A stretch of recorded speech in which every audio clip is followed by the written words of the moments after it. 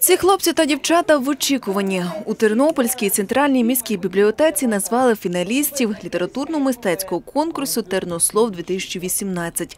Славко – один з учасників конкурсу. Свій перший вірш хлопець одразу подав на конкурс. Мені спало на думку, що е, я б захотів про осінь написати. Е, ну, Вона просто мені сподобалася. І я про неї просто написав. Та юні Ну, учасники тільки, зізнаються, е, творити для інших непросто. Вірш має бути цікавий для всіх, е, і він має сподобатись всім. Тому що е, вірш е, це як, це як ідея, е, про, про яку ти, ну, наприклад, вона може тобі спасти на думку, і вірш е, дуже цікаво писати. Близько 80 дітей стали учасниками конкурсу «Тернослов». Журі оцінювали роботи юних творців у двох категоріях – від 5 до 11 та від 11 до 17 років.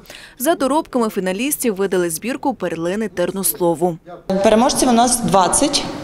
20 переможців в літературному напрямку і двоє в художньому. Дуже нестандартні, е, не такі, як, е, як твори пишуть дорослі. Це е, дитячий погляд, і він дуже такий часом цікавий, ну, оригінальний, який ну, дорослі свого погляду вже такого не додумуються навіть до такого, напевно, що ну не знаю, я дуже тішуся від того, що в них є оце таке нестандартне ще мислення, що немає тих стереотипів, і власне фантазія дуже дуже добре працює. Для нас було дуже важливо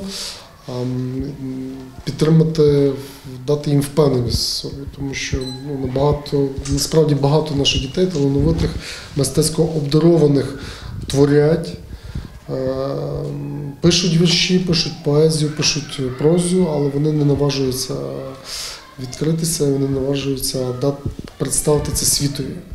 Ось, і власне це такий дуже солідний крок. Тому що до збірок своїх йдуть люди десятками років, а тут вони побачать свої твори вже власне надрукованими. Збірки творів «Перлини Тернослову» планують передати у дитячі та шкільні бібліотеки міста. Друзі, не знаю, що